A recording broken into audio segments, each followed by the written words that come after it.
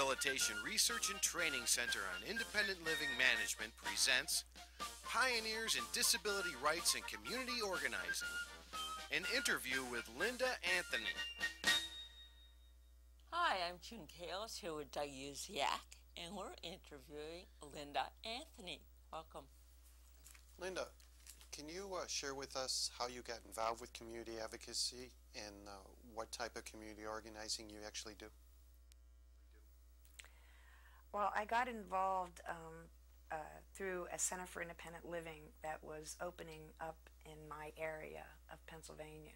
Um, I originally was going to apply to be a part-time peer counselor because I didn't know what an independent living specialist did. That was the full-time job. But um, I had someone convinced me to try the uh, independent living specialist position. So I did apply for that and started working at the center. Um, it was just getting off, you know, just kind of starting. And we really had um, no one else but myself and the executive director, and we covered three counties.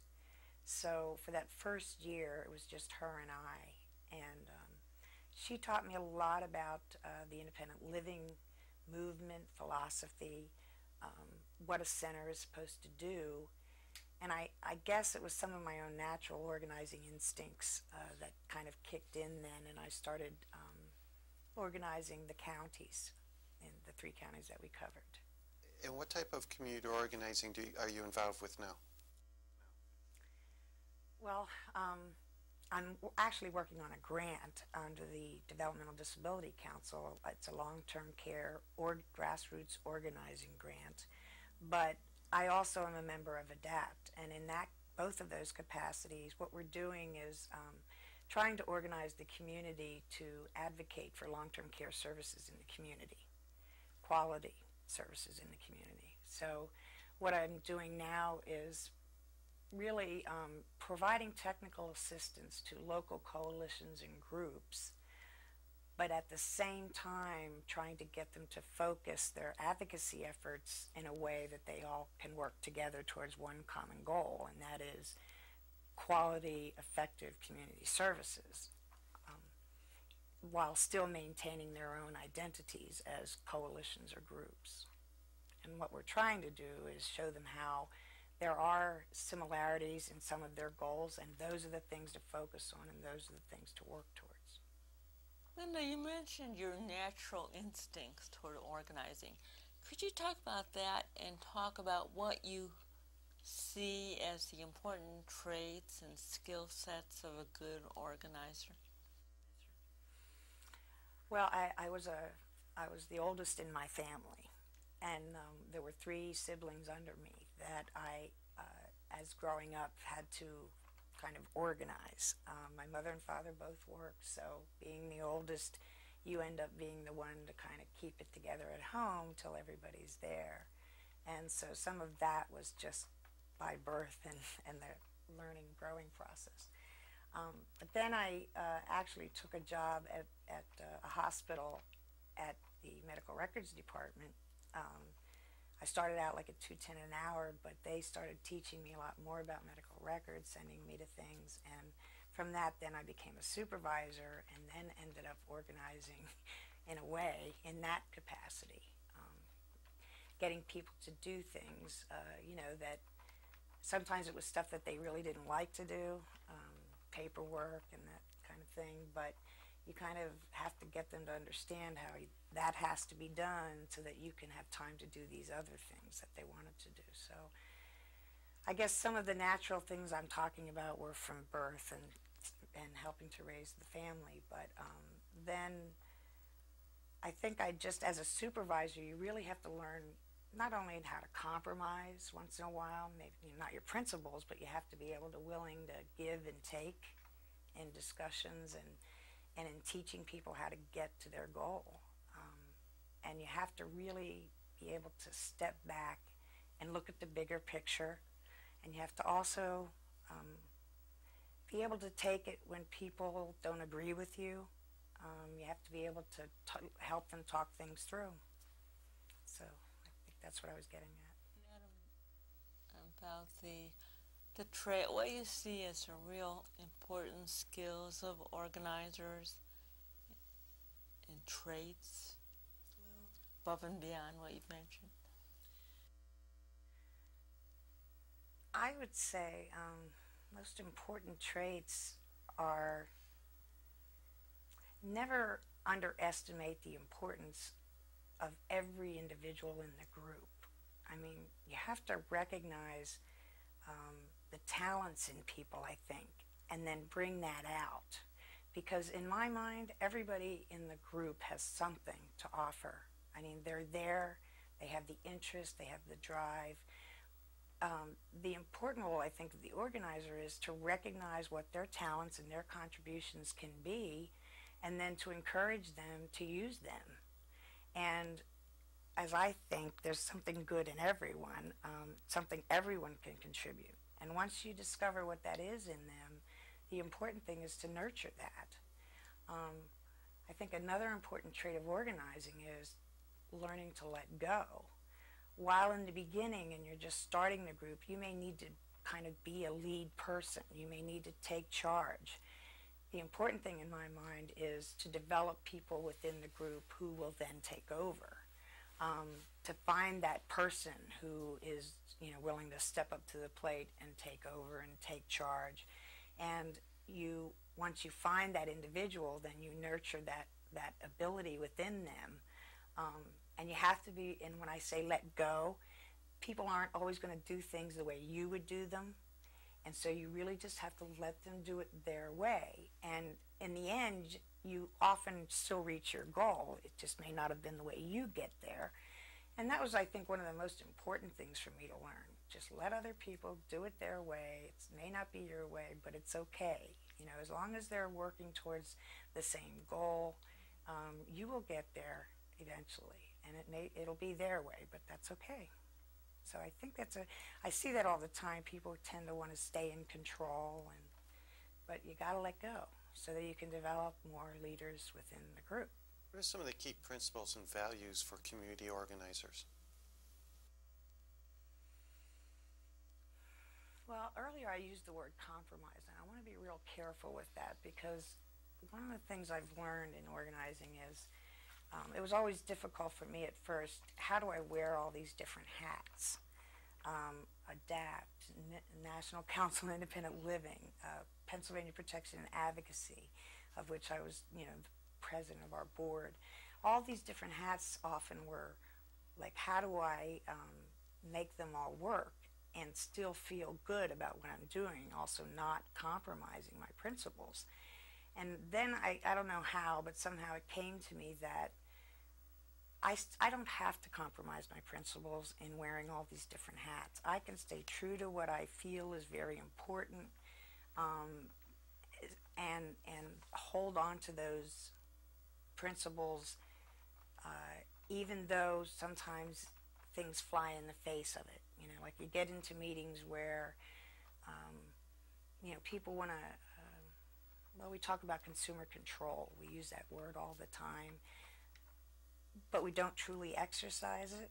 Um, that issue of being in control some people have a hard time knowing how to do that or they don't want to do it for whatever their own personal reasons and so they don't really exercise consumer control or encourage it um, because of the way they are behaving if they don't let someone take charge of something um, instead they tell them how to do it that's really not empowering the individual to do it themselves so not uh, the other thing is I used to sit in like long-term care council meetings, which was mostly providers and a lot of nursing home providers.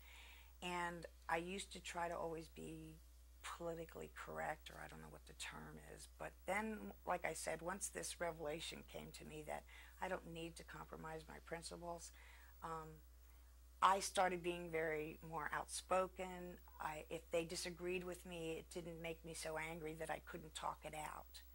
Um, I just took it at what they said, but then made my point of view also very clear and kind of stuck to my guns. I mean, I think before that I would have probably just been quiet and, you know, not really tried to counter what they were saying because I didn't want to stick out. You know, I didn't want to. A confrontation can be sometimes hard for me, believe it or not, and um, I, I did, wanted to avoid that, and I also kind of wanted to fit in to the room and the crowd, if you know what I mean. Um, so learning how to hold on to those principles even in a, a mixed or sometimes a negative atmosphere um, I think was important. And then not compromising on those things, not being willing to say, well, it's okay if we just accept this settlement as it is, you know, like we'll, we'll just make sure there's a ramp in there and let somebody else worry about all the braille markings or braille whatever. And, um, I don't know if I'm making this very clear, but just holding on to those, I think, was very important. And then the other thing of nurturing the skills in people that you find, is, is vital. Talk about your role models, your mentors, how you use them, and how you teach other people to find and use role models and mentors as well.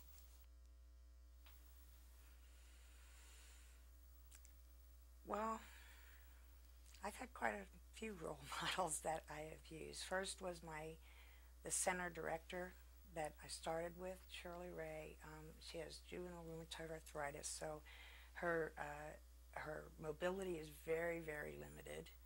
Um, and it was the first individual that I had been around who was so independent with such, you know, uh, limitations. And she kind of taught me about, um, first of all, the value of learning what the law really says. You know, she made me read everything and reread it. And so, doing my homework, I called it, um, learning what the law really says. And then she taught me, um, you know, how to uh, how to be more vocal about things and how to use what I learned in those laws you know, later on when I'm in public settings or when discussions would come up. Uh, so she actually did a lot to teach me about the independent living movement and the philosophy. My role models since then have kind of changed to um, some of the folks in ADAPT. Um, Bob Kafka, Stephanie Thomas, especially Stephanie in the way that she is also a woman. Um, and faces some of the same things that women do in terms of, you know, the men tend to take over and, you know, it's hard to get a word in edgewise and are my ideas of any value? And she's done a lot to teach me that yes, they are. Um, and that you do need to voice them. And it's okay if you voice something and nobody agrees and they don't like it. It's still important to voice it so that everybody has a chance to hear all these perspectives. And they um, they really amaze me sometimes in that they can take these shots all the time about how they do things, their tactics. You know, people don't like what they do, how they do it, and you got to learn how to let that roll off your back and stay focused. One of the things that always disturbs me is we have a lot of infighting, um, and as I do imagine a lot of groups do, but there is a lot of infighting, a lot of kind of backstabbing kind of things, um, not sticking up for one another. And they've taught me how to not let that change my my work or my objectives, you know, my uh, moving forward. I've I've had a lot of things happen over the past few years in terms of my job and my personal life, and and I've had to learn how to just let them be to the side so that I keep my eye on the prize, if you will. And I think that's probably one of the most important things they've taught me. Um, to set aside all these petty things that are going on and saying, okay, I, I, I hear what you're saying, but how can we move forward? What is it we have in common? What kind of things can we do together to reach our goal? And just keeping people focused a lot there have been a lot of instances where I would have liked to have responded to, to charges or allegations about me or my work or but I've also had to say that this is not the forum or the arena for that. Set that aside and let's talk about the goal. Let me just probe. Um, you're the first person who's talked about some of the dynamics between men and women in organizing. Anything else you'd like to add about that? I think it's an important piece that we gloss over sometimes. Well, uh, one of the things I've learned, particularly in the area of negotiations, when you finally get to the table, um, there are those that, that will only speak to men or will only take information from a man. Um, I see that as that's really their hang up, but what I've got to do is if there's information that I think will benefit the conversation or the issue, if I see that they don't want to hear it from a woman or that they're going to kind of blow it off because it's coming from a woman, feed it to a man in the room and let him say it. Um, to me, it's like it doesn't matter who says it or who does it. As long as it is said and if it helps and moves us forward, great. I don't really care credit or the acknowledgement. And if they have a problem with taking it from a woman, fine. We'll give it to a man and let him present it. And if that gives it more validity for them, who cares? As long as it happens. I um, I learned to put a sign up on my wall that says, you know, there's amazing things can get done when no one cares who gets the credit. um, so some of those dynamics come into play in negotiations. They also come into play, though, in an organizing perspective um, in ADAPT, you know, the, the men uh, are very strong and very vocal. Um, and sometimes it's hard to even get a word in edgewise. And so we've learned, and as they have learned, that, you know, we do have some contributions to make. And I think what I've learned to do is I, am somewhat pretty much a quiet type who will sit and listen for a while. But when I have something to say, you will hear it. Um, and if you talk louder than me, I'll just talk louder than you until you listen to me. So that is something I have learned through this movement, um, that dynamic and how to use it, but also how to recognize that it's there and then work around it. Just to follow up on, on this discussion, is that type of barrier greater or less than what we see in the rest of the community? Uh, it's probably, uh, to me, it's almost kind of the same. I mean, I see in the business world that going on all the time. Um, I see a lot of women in the business world get frustrated because they, you know, they feel they should have the say or they should be able to present the issue or the problem or the statement. But I've just kind of recognized that if that's someone else's hang up, then I, am not there to help that person become enlightened about the value of female input. Um, I'm there to kind of reach a goal. So. Well, I understand the concept of there to reach the goal. Mm-hmm. But would not the fact that you're advocating for the rights of persons with disabilities at the same time, is there not a responsibility to the individuals within your movement, not necessarily the other people on the other side of the fence? I understand that's their hang up and, and you're not there and it's going to get in the way, but within your own particular movement, should, should not this issue be addressed? And are you addressing these issues for anybody that may be dealing with the same type of frustration?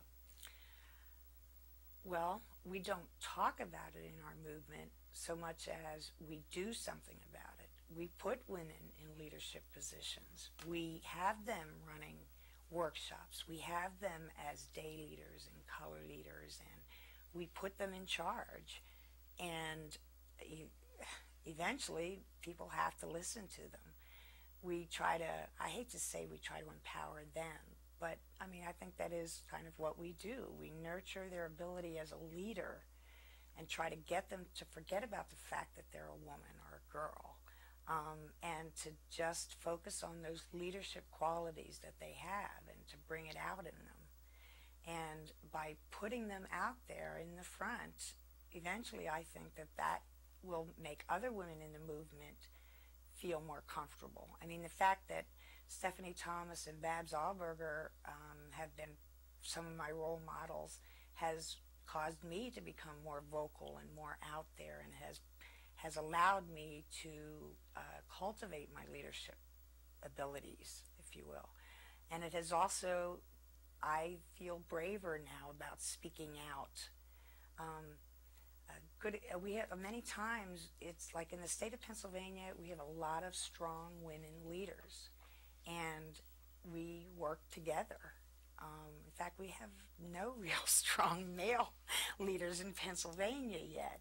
Um, we're hoping they will emerge, but it has become kind of a woman's movement in Pennsylvania, if you will. It's mostly women with disabilities. And now, what um, what organizing activity are you proudest of? Um, I, thought about this. I saw your questions, and I think for me, the one I'm most proud of was actually an event that I ended up not being able to even attend. And I think that's why I'm proudest of it. Um, in Pennsylvania, we have a program that provides personal assistance to people with physical disabilities. And it was actually one of the first jobs I ever had. But I also used the program. I knew the value of it. Um, I knew how it had really made me recognize how this disability was not going to end. It was going to be for the rest of my life, but it didn't have to be, um, it didn't have to stop me from living. And it made me feel good to know that there was a service out there that would help me get a shower by someone else other than my mother. I was 29 years old and I felt like I was going backwards. So we have this program in Pennsylvania, and every year it would um, accumulate a waiting list of over a thousand people. And so every year um, we would advocate, and they would put some money into it and take a lot of those off. But it was like every year, and there were people that were ending up going into nursing homes. We found because they were waiting so long for services.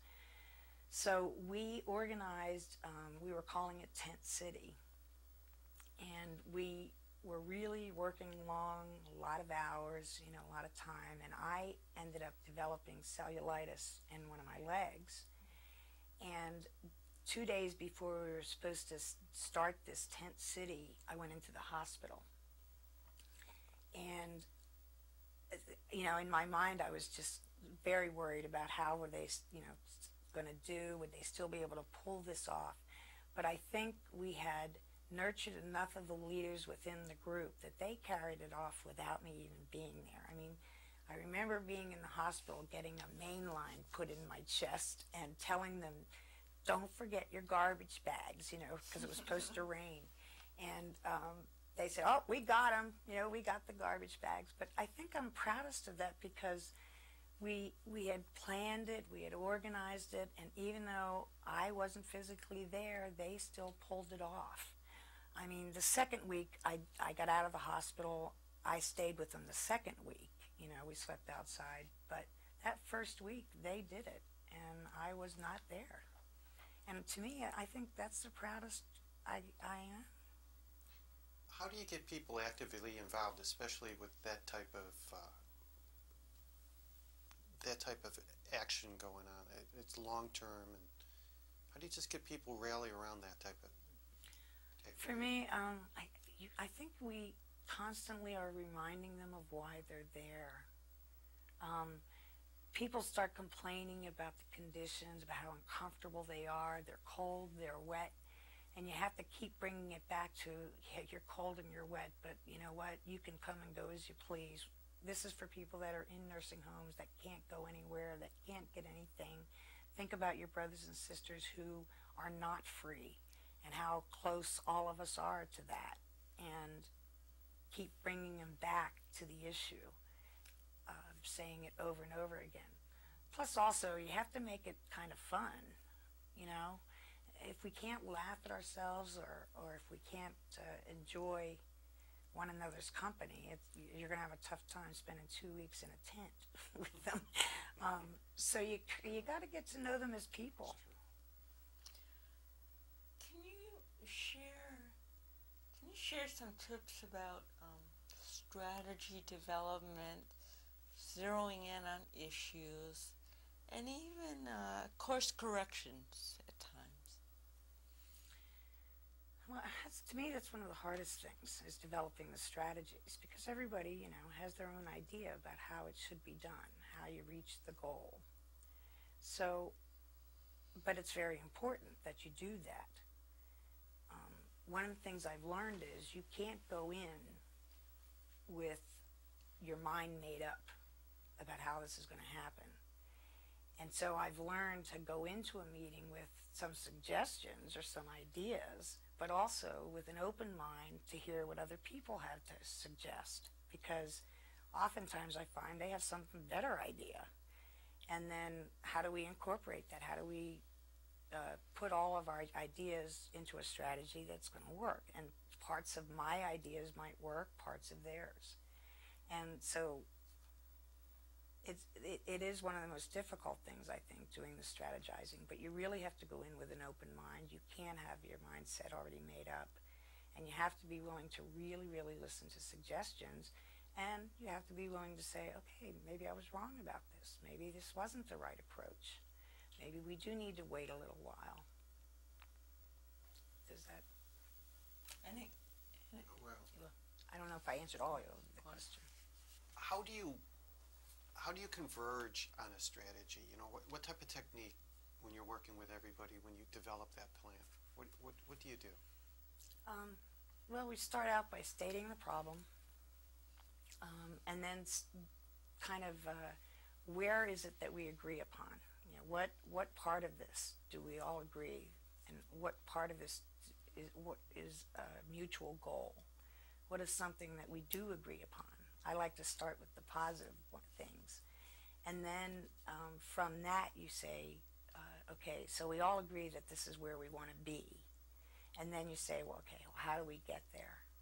And if you don't get any responses, you start by giving your suggestions, um, by sticking your neck out a little bit, by by saying, here's what I think. Um, tell me what you think. And oftentimes, people, by you sticking your neck out a little bit, it, it, gives them a little bit of chutzpah, and they stick their neck out a little bit, and then they say something. And um, you get them talking. And if all else fails, then you get them mad. you say something that's going to, you know, really set them off and uh, push their button. And then that gets them talking. And then you start talking back. And you, by sitting there and being willing to listen to them, really listen to them, and take into account what they're saying and use it, it, it, uh, it makes them feel that they've provided a valuable contribution and they'll be more likely to do it again and again. Anything you want to add about, about course corrections when you're in the middle of an action? Um, again, I think it's very important to, and willing, you have to be willing to say, okay, I, I think I was wrong. This was not a good way to go. Um, I like your idea better. What do you all think about that? You know, and okay, let's do that. Um, but admitting that you're wrong.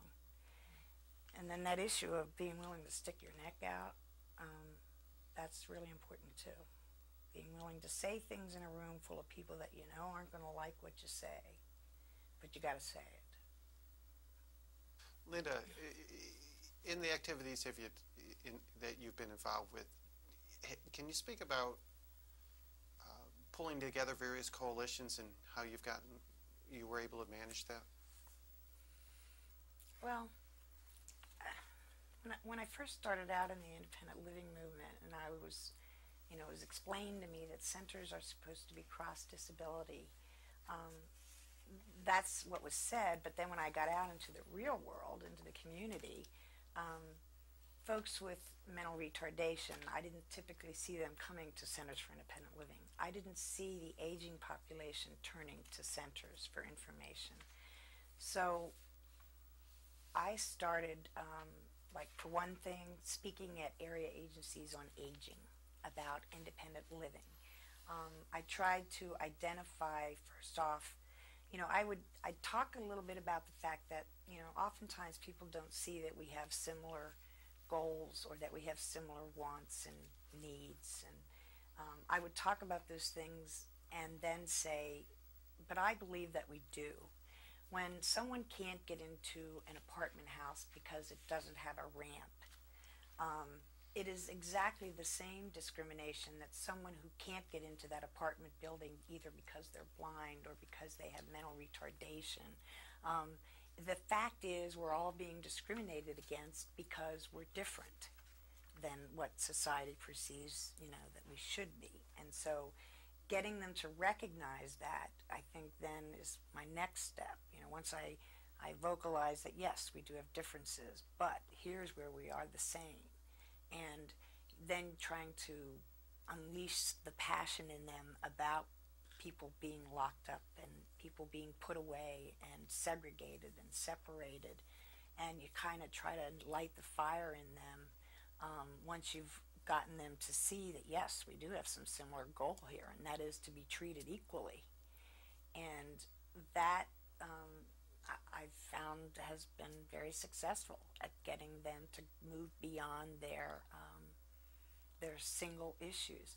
A lot of people used to be worried about uh, us trying to do away with like the MS Society or the Epilepsy Foundation was there no longer a role for them? Well, that's that. I don't believe that's true. I think they there is definitely a role for them. There are folks with their particular disabilities that need more intense information, support, encouragement, um, understanding. But there are areas where we are very all very much alike. No one wants to be put away. No one wants to be segregated or separated or treated like, you know, an animal. Um, so, in that sense, despite all these other different disabilities, we do have a common goal, and that is to, to live free and, and equally. Um, one of the things and the ways you do that is you like I attend their conferences, their workshops, their meetings. Um, you you listen to them and you hear what it is they have to say. Um, I think a good example of something that happened in Pennsylvania, the uh, Speaking for Ourselves, part of the People First movement and self determination, all that.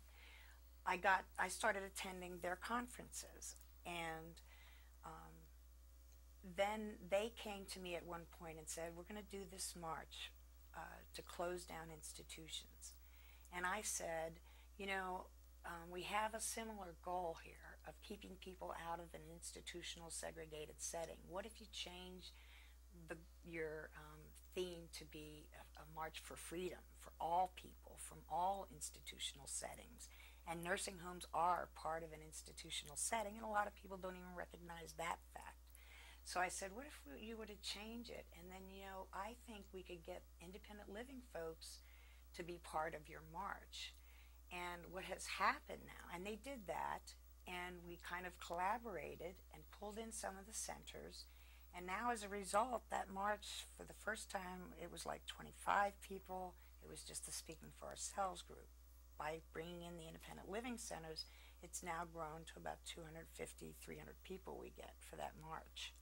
We've got mental health consumers now coming, again, because I had, you know, gone to their conferences, I had gone to their um, group and done, have done presentations about independent living, about where we are similar, where our goals are similar, um, about the fact that personal assistance or attendant care should be available to everyone. You know, if it, if you need help getting out of bed, it shouldn't be why you need help. If, if you need help getting out because of your physical disability, or if you need someone just to encourage you, people with mental health issues who may suffer from depression or something, they just need encouragement, you know, every day sometimes. And if that's you need that kind of assistance, it shouldn't matter what kind of assistance you need. The fact that you need it, um, it should be the criteria, if you know what I mean.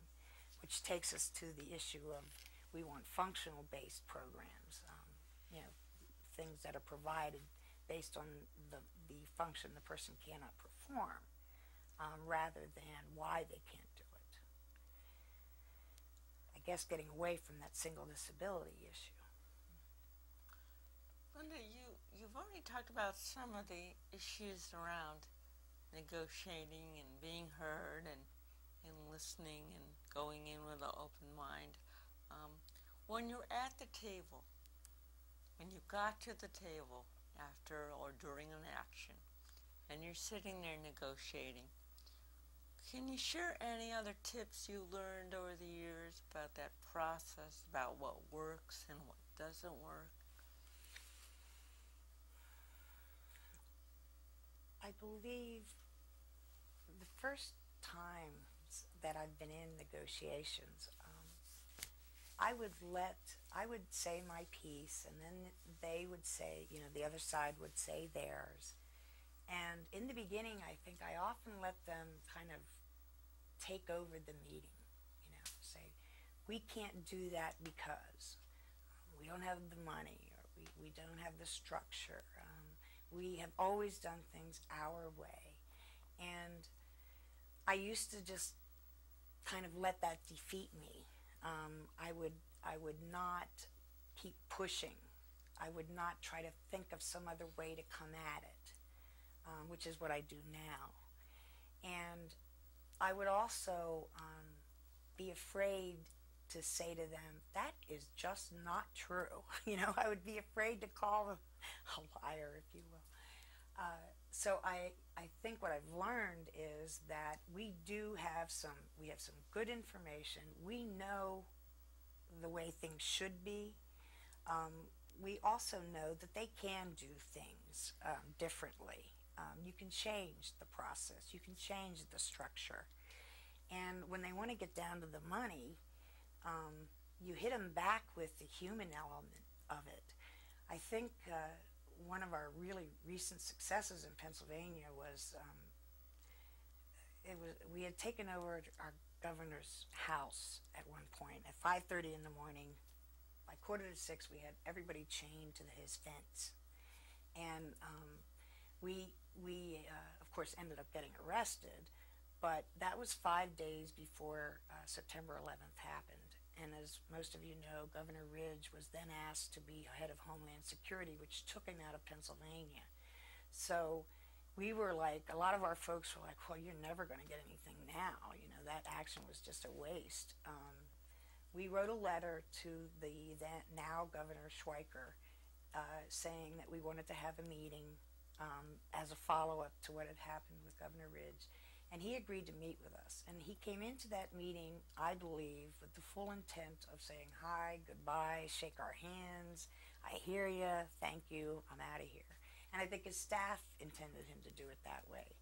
We, in turn, as he started to, you know, his he said his spiel about, you know, we only have so much money, and and then um, we took it back to the human element.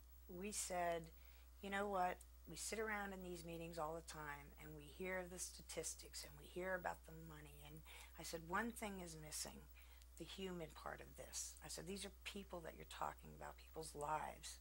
And so there were five individuals there that then they, uh, and I said, you know, Barb, how would you like to tell him about what happened with you? And the five of them were so perfect they just, like clockwork, each said their spiel and how each one of them had been someone who had been, you know, in a nursing home and were now working.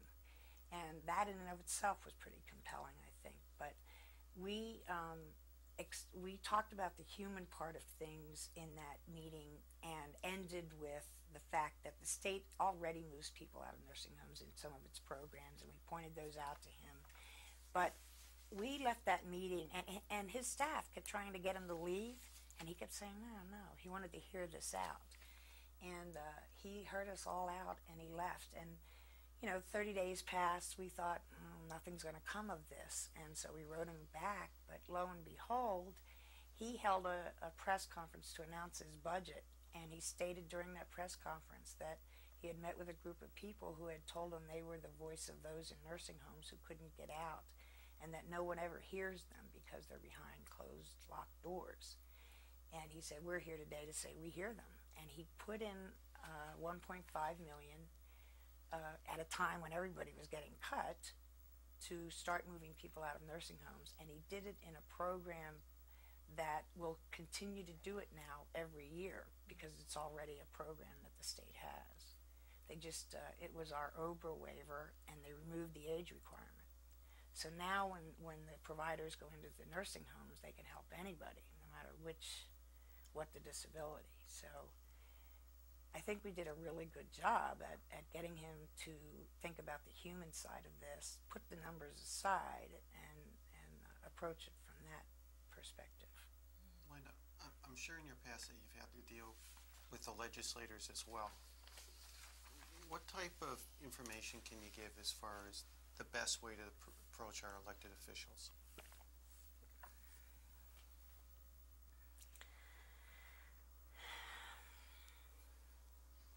One of the things that I tell people is always remind them that you are a constituent. You don't have to tell them if you voted for them, but remind them that you are a constituent, a potential vote, first of all. And second of all, remembering that they don't have a lot of exposure to people with disabilities. Every little thing that you could tell them about living with a disability will be something that they will probably take away and remember because they've never heard it before, number one. And number two, they've never heard it from people who are actually living with it. Um, one of the best people I find to talk to legislators are people who have been in institutional settings. It's great to have them be able there to talk about it and now living out in the community. And they can see for themselves that these are people that do not need to be institutionalized. Um, they are obviously living in the community and, and living well and prospering. So, uh, always remembering to provide as much education as you can about living with a disability to me is very important. And expressing why it's important to you to live in the community. Um, the thing that I also teach people, though, is what drives this country, unfortunately, is the money almighty dollar drives the world and or at least America. And you have to keep that in mind. Well if you want to talk about the money um, institutions cost a lot more than community services. And while you don't want to diminish the human element um, if you want to talk about money let's talk about money. You could serve a lot more people for the same amount of dollars that you're, you're using to keep people locked up so you have to also present that side of it, um, not only the human element, but also the, it is a cost savings in most, in I would say, pretty much most of the cases. There are only a few individuals, you know, that would be higher than the cost of being in an institution. Um, one of the things I've also learned in, in meeting with legislators and talking to them, they also have buttons. They have things that push their button that they relate with. Uh, we, I've had instances where a legislator seemed like we were getting nothing out of him. He just kept saying, yeah, yeah, yeah, to everything. And as we walked out the door, um, one of the folks that was with us mentioned that he was from the Epilepsy Foundation. And this particular legislator had a niece who had epilepsy and was familiar with the problems it had presented to the family. Now, we really didn't want separate money for epilepsy, but as it turned out, because of that little sidebar conversation he ended up having, $150,000 was put in the budget for um, epilepsy education for the development of brochures and information to be disseminated to providers. So you have to remember that they also had buttons and, and never underestimate um, what one comment can end up giving you. Um, it may be the button that, that they hear or that pushes something in them that they, they can relate to what you're talking about. Can you talk about the continuum in actions when or if or how things actually need to escalate from marches to confrontation to civil disobedience?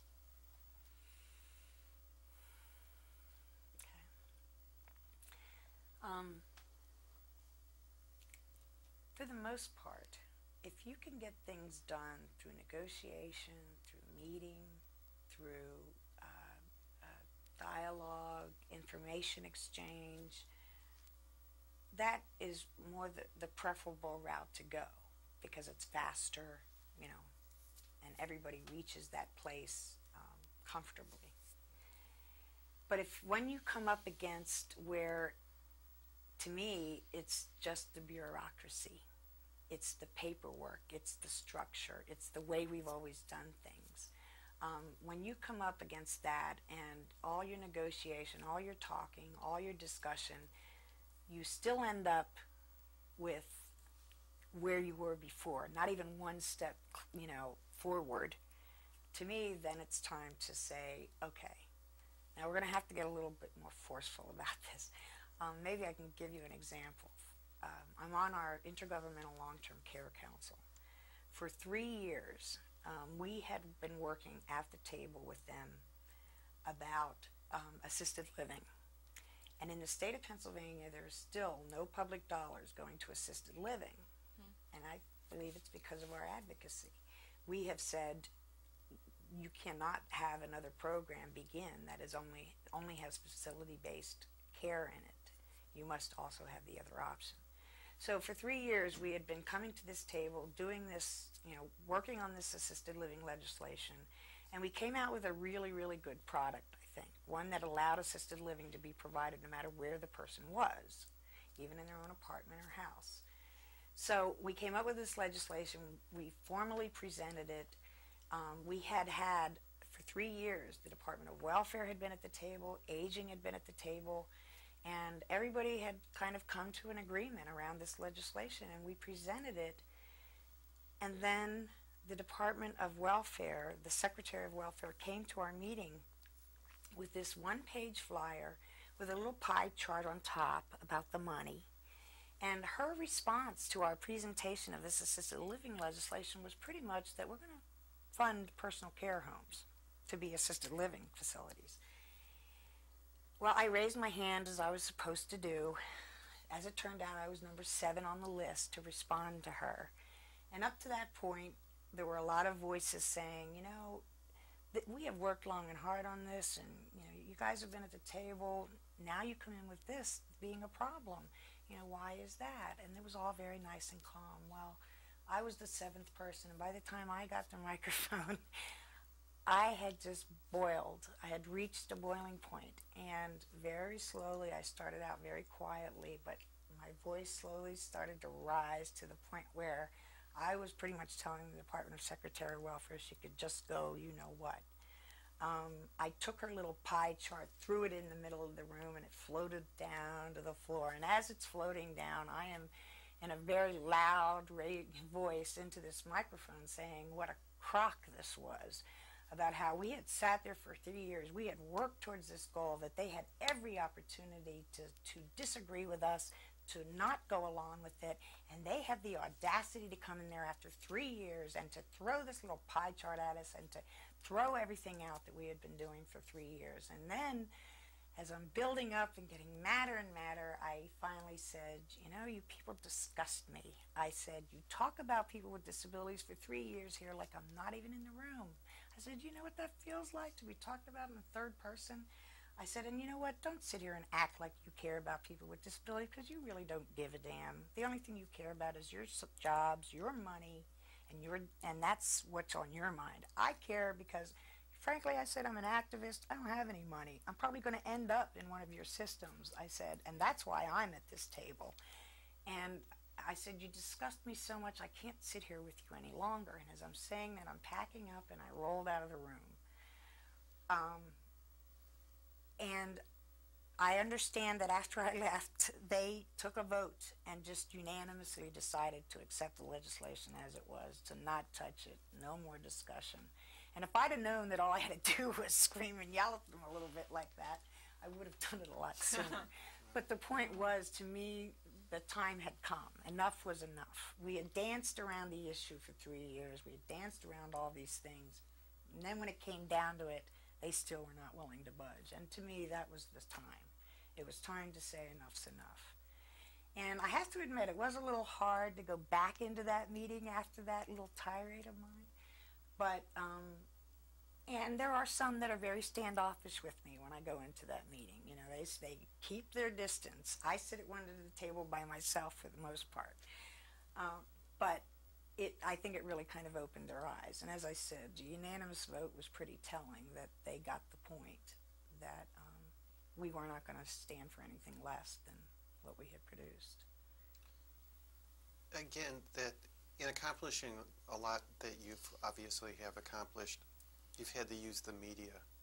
What are the, the best ways that you found in order to get the media to work with you? Um, some of it has been confiding in them. You know, they feel a little privileged when you share information with them about what's coming up. You know, I always have to say, but you can't let anyone know about that. But here's what we're going to be doing next week. Um, confiding in them because they are reporters and they, you know, they hunger for information. That's their thing. So uh, I think confiding them and getting their confidence has made them feel a little bit more a part of the group.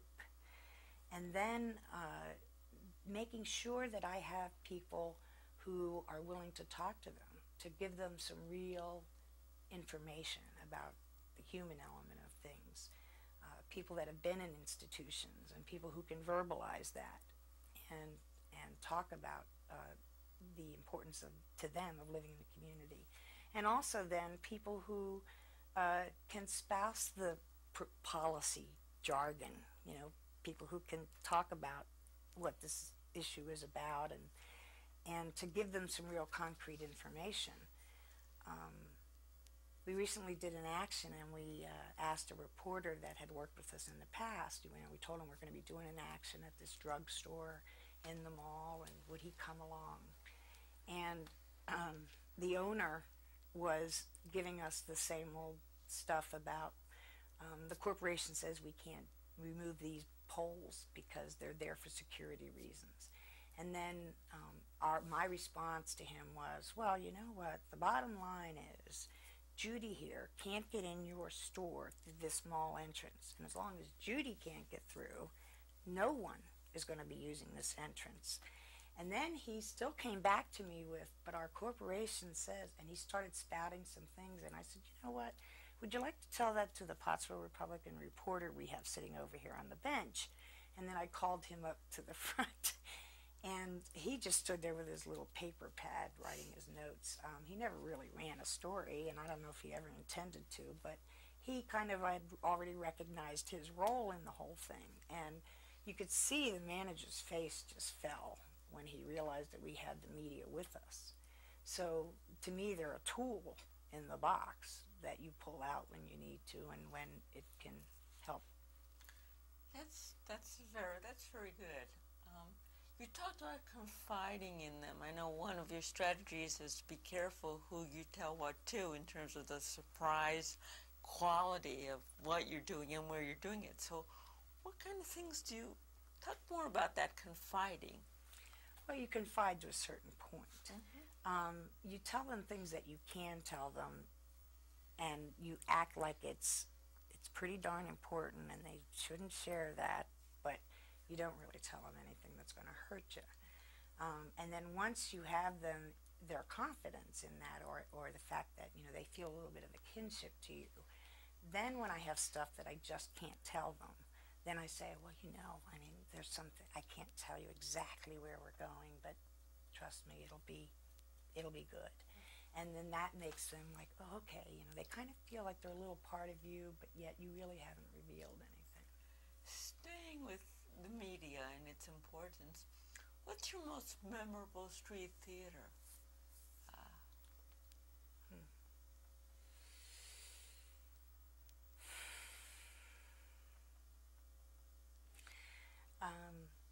again around the issue in Pennsylvania of uh, uh, people being put in nursing homes. We dug up some information about nursing homes, you know, some statistics, and we found that the the state still ran some nursing homes, some you know mm-hmm. significant enough that uh, it was worth noting. So we held, uh, we got a permit, and on the Capitol um, ground, we held a kind of, a, we called it a public hearing. And we invited the media, we had flyers and packets, and we had folks coming up to the microphone giving their story um, about how they'd been in institutions and now were living in the community and how their lives are so much better. And we did that kind of all day long. It was a very orderly kind of thing. And then it came to be like 8 o'clock at night, and they wanted to shut down the grounds. And so the guy that I had gotten the permit from came over and told me, he said, well, you know, it's getting close to 8 and we shut down at 8, that you're going to have to take your stuff off the plaza area here. He said, you can take it down to the sidewalk, that's okay, but you have to get off of this plaza. So I just looked at him, I said, I, I hear what you're saying. See, I didn't lie. I said, I hear what you're saying. But um, then what we did was, when that magic 8 o'clock hour rolled around, we had folks with their vans down in the bottom filled with lounge chairs. They started bringing these lounge chairs up, and we set the lounge chairs up across the plaza. And our folks started getting out of their chairs and jumping in the lounge chairs. We had also made up these, um, they looked like bars, and we they were big cardboard things. And so we had uh, standing people holding those bars, kind of, you know, closing in the people sitting in the lawn chairs. And somebody yelled, lockdown. And we put a, we had made a banner up that said Pennsylvania State Nursing Home, Administrator Governor Tom Ridge. And we had people go up on the balcony and hang it right under the Capitol dome. And uh, we had lockdown. And then everybody was, you know, locked down for the night in their beds in the nursing home. Now they ended up arresting us and, and actually taking people out of those lounge chairs. But it was kind of pretty effective because across the street there happened to be a graduation commencement exercise going on. And that's where the governor was supposed to come to give a speech. And all those parents, all those kids, saw them kind of dragging people with disabilities off the lounge chairs and putting them in handcuffs. so it really kind of put the pressure on them. I But, just want to know if you were in your pajamas. Well, some of us were. Yeah. some of us went that good. route, Yeah, and that's some of the women had their hair in curlers. And and- media captured this. Was it captured? yes, Oh, good. we had good press. That's uh, very good. graphic.